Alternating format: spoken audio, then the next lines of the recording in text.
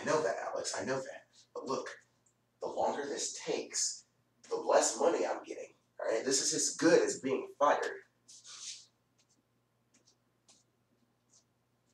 I know that.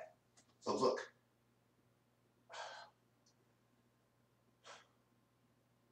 Right, but you got to do what you got to do, okay?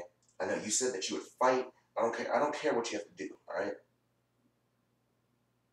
No, I'm not worried.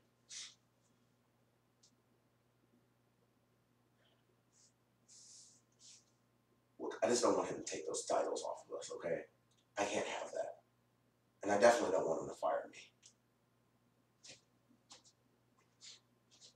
I trust you. I trust you. I, I, I do trust you. I trust you. I know. Look, just do what you gotta do, man. Seriously, okay? I've been there for you. I know you're there for me. I know that you will do anything in your power to make sure that we can. I know. Absolutely. I'm not be able to be there. I'm gonna have to watch on YouTube. But just keep me posted on things that are happening, okay? Exactly. If we can get me back before the end of the year, things will be great. I trust that that can happen. I trust that you can make that happen. All right, look, I gotta go, but just give me a shout.